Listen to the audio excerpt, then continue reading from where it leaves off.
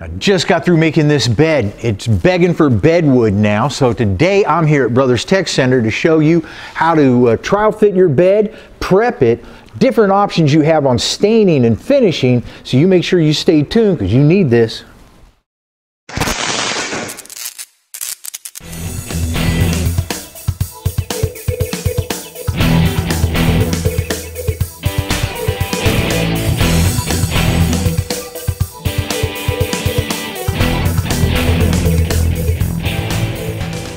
Technically speaking, you could just stain this and varnish it and or paint it and go ahead and put it in.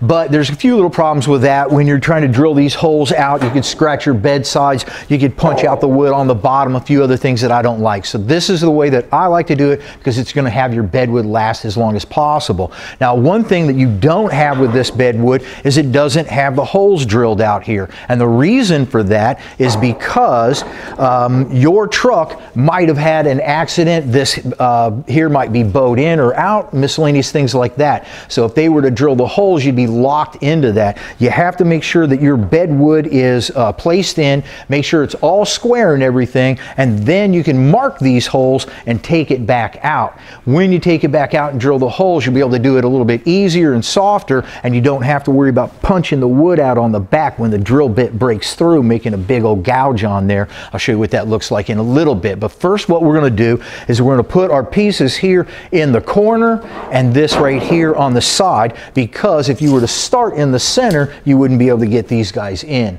So we'll get these first and then I'll work my way to the center.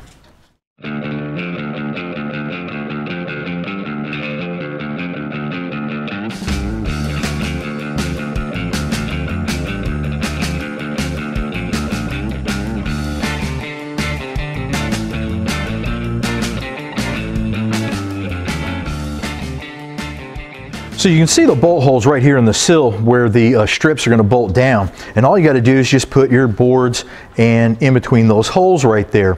And if you're installing your wood and you see this uneven gap here on the bottom, that means that your bed is not squared. It's a little bit jacked to one side or something. How we're going to even that out is we get a tape measure and we simply put it in one corner and measure to the other in this case here, it looks like about 102 inches. Over here, I've got 105. So that's a little long. This is a little short. That means I got to bring this side back a little bit. Now let's say you're doing this and um, you move it and it doesn't go into the right spot. No big deal. Just go the opposite direction. Try different things until it does fit evenly. If it doesn't work one way, it'll work the other way. Now what I'll do is I'll double check. I've got a hundred and uh, three inches here.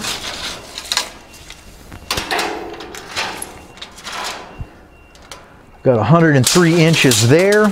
And now you can see that when my bedwood is in here, that these lines are nice and straight right here. So we know we've got our bed nice and straight. Now, a lot of times when you're working on this, you might jostle it around or whatever. So I recommend to double check and make sure that it's square several times throughout your process so you've got it perfect. So I'm using a Phillips head screwdriver and the front bed panel, the holes that are in the front bed panel, and I'm just lining up everything here. Then I'll do the same thing in the back. And then I'll go ahead and start installing my strips. Now the strips can gouge your wood, so you have to be really careful. Another thing that you got to watch out for is you'll notice on this end you've got two holes right here, but on this end you only have one hole. So you know that the two holes go to the front, the one hole goes to the back. You don't want to take it and just kind of lean it over this and then try to set it in because it's a good chance you'll scratch your wood. You want to set it in the groove and then go ahead and slide it forward. So just like that, I'll go ahead and take the bolt and put it right in there and then uh, I'll do the same thing for the front. Now these sills that you got underneath right here, they might be off a little bit. So once I get these secured just a little bit in the front and the back, then I'll be able to use my uh, screwdriver here and I'll be able to position my um, sill plate into the position better.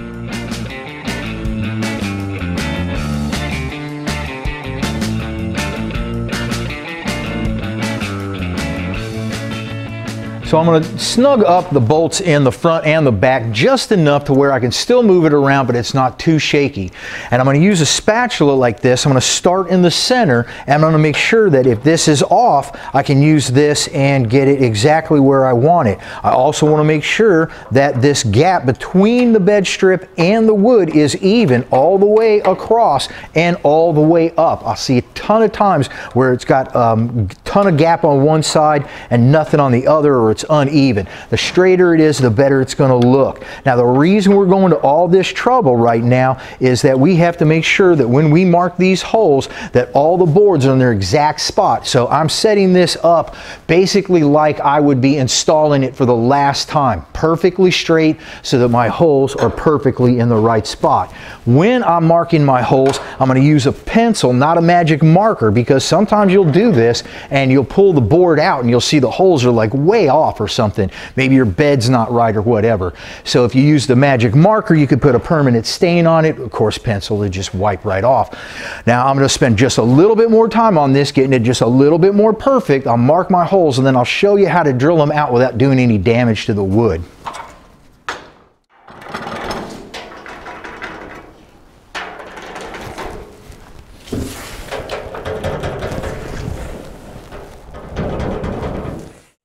Now I don't have to pull out all of my wood in order to get my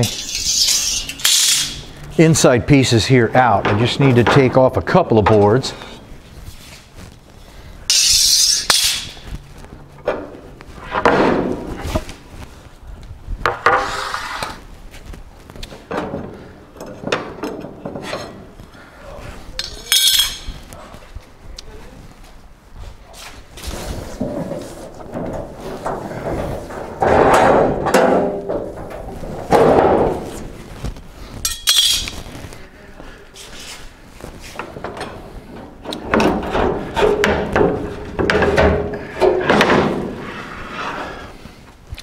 Now when you get your boards out, take a look at your holes and how they're lined up. If they seem off and odd and even uneven or something like that, you more than likely got something wrong and you're gonna have to double check to make sure you're square and get it back in and double check all of your um, items to be sure you're okay. That's looking good there. Let's take this one out and we can see that our holes here are even with this edge. So if it was at an angle like that, then you'd know that more than likely this was off and so was everything else. So fix it first, get your holes exactly where you need them, then you drill. Now here's how I like to drill out the bedwood holes. I like to use one of these step drills here instead of something like this. The reason being is that when I drill through with this,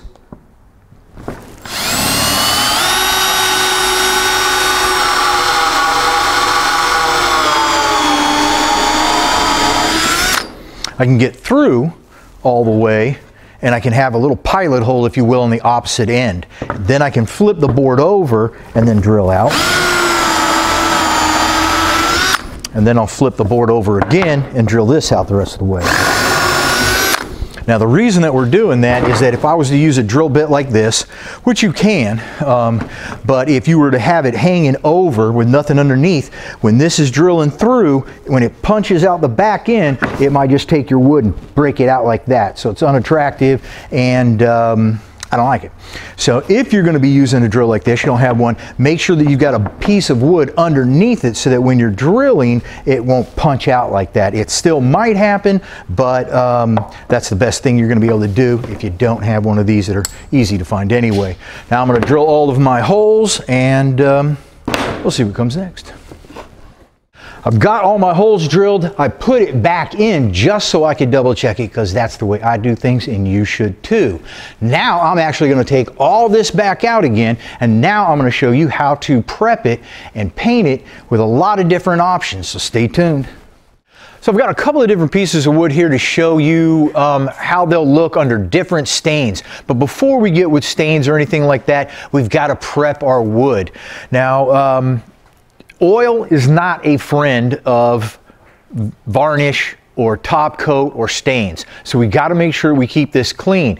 If you get oily hands and you get them on here, you can get fingerprints on there where the stain won't um, stick to or your top coat won't stick to in the future. You may not notice it at first, but six months later, a year later, you probably will. So in this case, I'm going to be using gloves where I rarely do.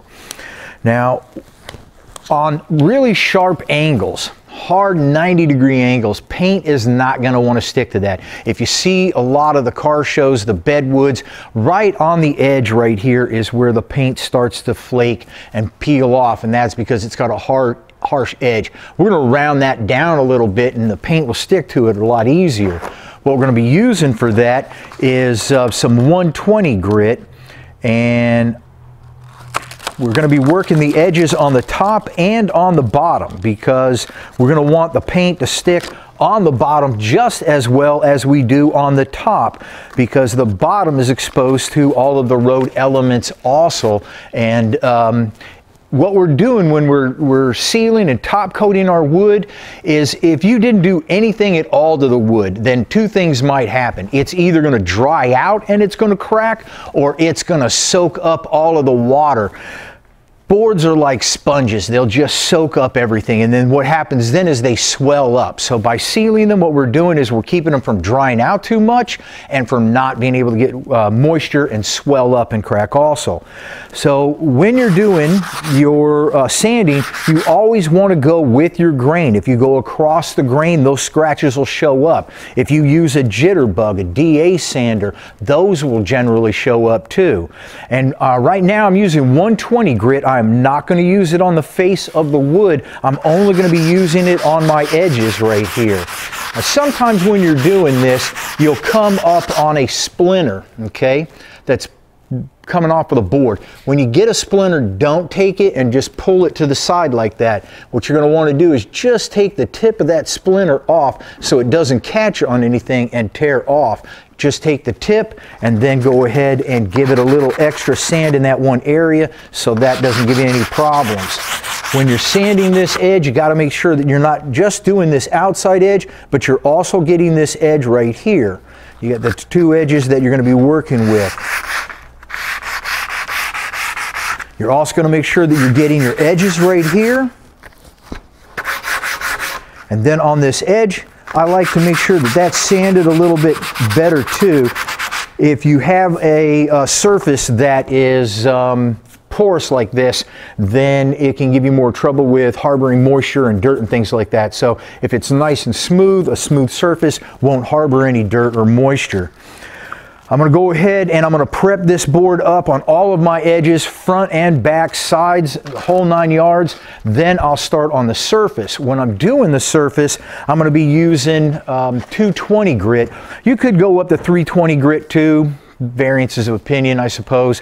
When you're doing it though, you want to make sure that you use a block sander of some sort because if you don't, what'll happen is when you're doing uh, your sanding, your fingertips will generally kind of gives you grooves in there. So your sanding block is going to disperse that um, pressure and give you a more even sand. Now these boards come um, pretty much just ready to rock and roll. I have to do very little sanding when I'm prepping these, but I'll typically go over it just to be on the safe side.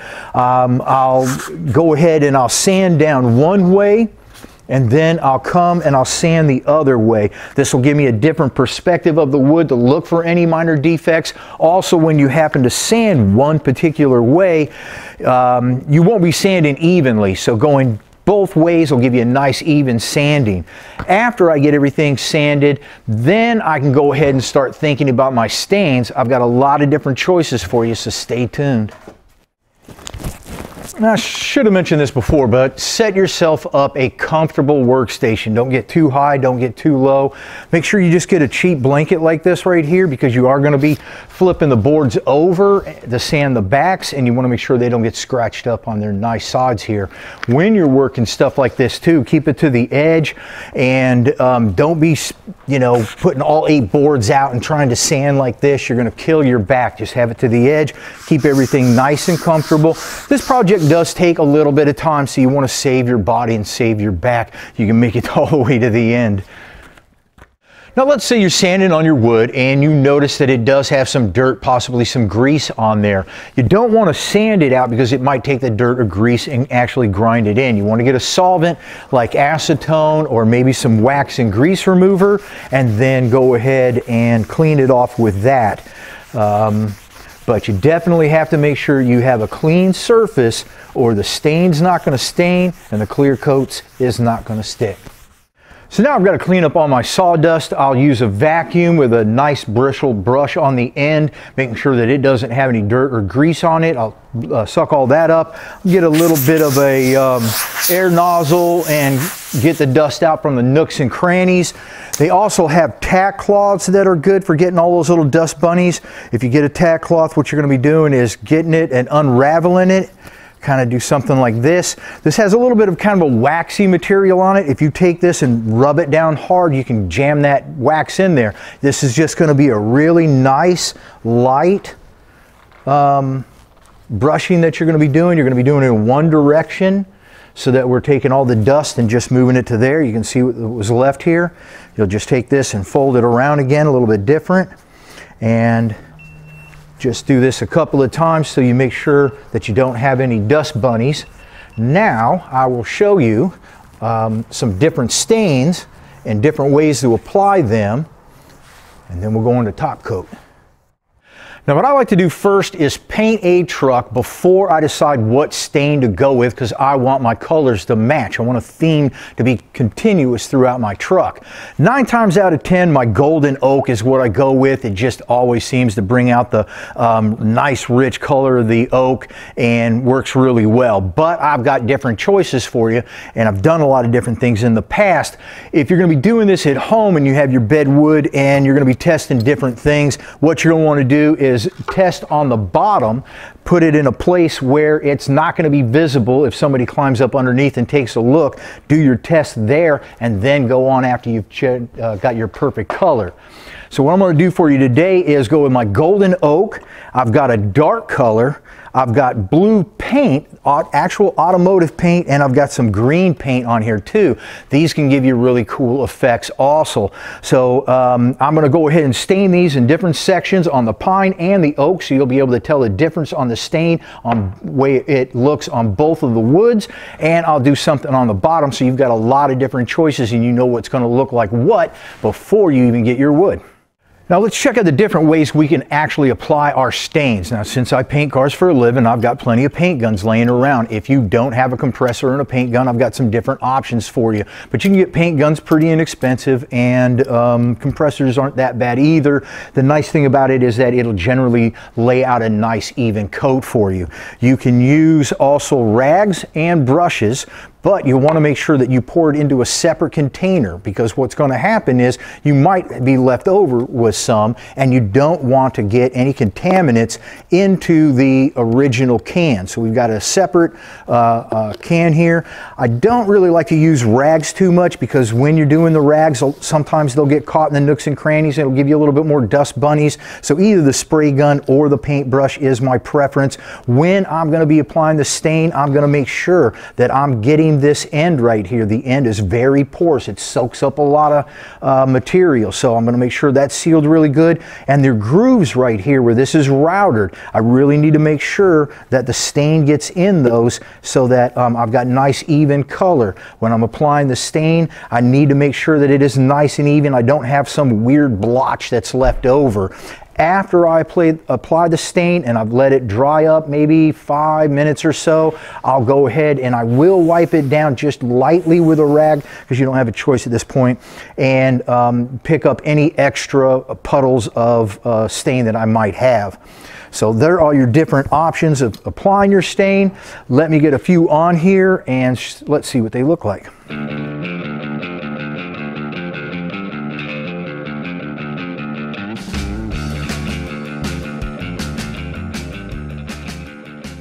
Here you can get a really good look at all of our different choices. Now down here I went with no stain at all. Here I've got the golden oak, and you can see how it's bringing out the grain in the oak and in the pine. Now let's say for instance you wanted this a little bit darker. You'd want to wait 24 hours and then put another coat on. If you simply put a coat on uh, right after each other, it generally won't get darker. You've got to wait that 24 hours. Now here you can see this is ebony, and this is definitely a lot darker. If you were going with a dark colored uh, truck, this would be really uh, nice looking grain showing up here. Here I um, took some blue metallic, light blue metallic paint and I thinned it out a lot with a lot of reducer and then I just lightly shot it on here and you can see this really brings out the grain nice too. On the green I went with the paint thicker. I did not thin it out. I actually shot it on just like I would be painting a car. But at the top half right here, I went ahead and sanded it down. And what happens is that on um, oak at least, it has really deep grains. And what will happen is the paint will get stuck down in those deep grains. The pine is a bit more even. It doesn't do it as much, but you can try different effects with it too. So now I'm going to go ahead and shoot a clear coat on that so you can see how that looks looks. When I'm going to do something like that, I'm going to go ahead and inspect the boards again. I'm going to make sure that I get my dust bunnies off by using my tack cloth and make sure everything's nice and clean. Then we can go ahead and shoot our clear coat on there. Dust bunnies are going to be the bane of your existence when you're painting. So make sure you get them all. Okay, so I've shot these with an automotive clear coat, just like I would paint a truck with, to show you the difference of um, what happens when you shoot the clear coat on there. Even if you don't stain it, it'll bring out the grain and give it a little bit more richness. But if you do stain it, you can see it looks even nicer. Here you got your dark colors, really brings it out. When I shot the clear coat on the uh, metal flake, it's bringing up the metal flake a little bit and making this look a little bit better. So I just wanted to show you that even after you stain the wood, when you put your top coat on, it's going to change it a little bit. So you might want to do a color test before you do your final. So now let's talk about how we're going to seal the wood. There's also a lot of different ways of doing this. They have oils that you can put on them. I don't like those because I don't want to climb underneath my truck and have to apply oil on the bottom in the future. I want to seal this once and basically be done with it. So your main choices are generally going to be um, exterior grade, not furniture or interior, exterior grade, marine finish, urethane, um, they also have this, now I have not used this, you see people doing um, these uh, large uh, tabletops with this kind of stuff and you just mix it together with the hardener and you pour it on and it's kind of this glass kind of thing. Maybe if you guys have had some experience using this um, kind of stuff, you can give us your opinion in the um, uh, comments down below but I have not used that. What I like to use is automotive um, clear coat because I'm already painting the cars with it and everything like that. I got to be honest, I have not had a good experience using these in the past. Um, I find them to yellow and uh, chip and fade uh, before their time, whereas the clear coat that I'm shooting on the truck and the wood is going to be the same and they're going to last basically the same. Now there are a few little tricks though to applying it. Since the wood is kind of of like a sponge and it kind of like has a lot of air in it. If you take your clear coat and you shoot it on fat, what's going to happen is your air bubbles are going to get trapped in there and then they're going to slowly work their way out and they might get trapped in your clear coat or at the top and they're going to be pits and little air bubbles and stuff. So how we're going to solve that problem is we're going to thin out the clear coat and what's going to happen here is imagine that this is a little air bubble right here, okay? So we're going to shoot a light coat on there and the little fragments are just going to land around the hole. Then we'll come back with another light coat and it'll fill it up a little bit more. Another light coat, it'll fill it up a little bit more. And if you do that, you can keep your air bubbles down to a minimum. If you still get air bubbles when it's still a little bit tacky, you can go ahead and pat them down some. You can also wait until things dry. You can sand it down and then you can just clear coat it again until you get a really um, high finish like you would on your truck, but you have to paint it and sand it several times in order to do that.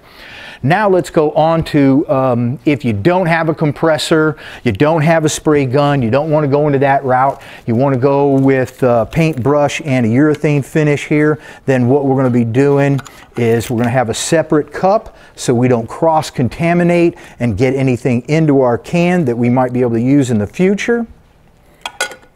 When we're applying this, it is about the nooks and crannies and sealing the ends is just as important. Now I should have got a new brush and a cleaner brush, but uh, I didn't. So we're going to put some here and we're going to make sure that we've got our ends sealed really well. We're going to make sure that these grooves are covered really well. So I'll basically hit my problem areas first and then I'll come back and hit my main here. And when you're doing this, we're uh, we don't want to have brush strokes in there. This we want to have this nice and even. I can't like say for instance do something like this and have a glob when that dries. That will dry like that and have a kind of a uneven surface for you. So we're going to be nice even surface all the way down like that. And this here you can also wait till it dries and then lightly sand it down, tack cloth it again, keep your dust bunnies off and get another coat on there until you achieve that um, perfect finish that you're looking for. But it does take a while to fill up all of those grains, so be prepared for that. I'm going to let this dry up, then you'll be able to tell the difference between a urethane cover and the clear coat cover and we'll see how much of a difference there is or not. Here you can see the um, top coats that we've chosen to use today are urethane, which is pretty common. And I've only got one uh, coat on this that I applied with a paintbrush. Uh, it, you can see it's a bit of a matted finish, even though it is a clear coat. You can get a higher gloss off of this, though, by sanding down and applying uh, more coats. Here I've only sprayed on two coats of clear coat, and you can see this is looking really good right off the bat. So this is really the way I like to do it. Again, you got to make sure you're getting all your nooks and crannies, getting your edges, getting your top and bottom and sealing everything all the way around. Now you got, you know, eight, nine, ten boards in there and painting all of it at one time can be a bit daunting sometimes. So um, you got a couple of different choices. Sometimes what I'll do is I'll use eyelets and I'll screw them into uh, one end of the board and I'll just get a wire and hang them all and then I can paint them on both sides easy. If you don't have that much time or room, then what you're going to have to do is just one side at a time. If you're going to be doing that, what you'll do is paint the bottom side first. You wait till it dries and then you're going to to do your top. Now, when you paint it that way, when I'm painting my top, I'm going to get a little bit of overspray on my bottom. That's okay though, because it'll be on the bottom where nobody can see it, and uh, the top's going to be nice and pretty. So you've got a lot of different options. Yeah, sometimes I'll put pearl in there. I've given you tons of ideas. Um, the sky's really the limit when you're doing this. You can get as creative as you want to. So if you've got some ideas that I haven't covered you think are good, make sure you put them in the comments down below so we can share them with everybody else and get everybody's truck looking good. I'm going to give this a few days to dry before I put everything back in. When I do, I'm going to have to be a little bit extra careful. I'll put tape up on the bed sides that might gouge into my uh, wood. I might even put uh, tape on my wood to make sure that nothing gets scratched up and then I'll snug all the bolts up, snug all the bolts up, tighten all the bolts, and we'll be all set and looking pretty. My name is David Welch. I'm at Brothers Tech Center every single week making sure your truck gets back on the road and looks good too. You make sure you check us out on Facebook, Instagram, and subscribe to the YouTube channel because every time you do, a mechanic finds a tool he lost.